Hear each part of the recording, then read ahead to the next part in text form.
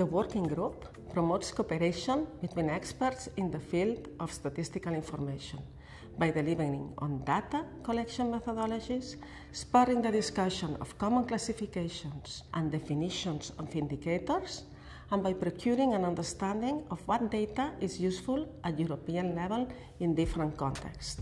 This is more than ever a necessity, given the number of pan-European operators and services and decentralization of decision making at European level.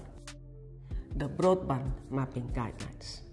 These guidelines constitute an important step forward in the harmonization of broadband maps in Europe, which shall prove useful in the design, effective implementation, and monitoring of broadband policies and related regulation.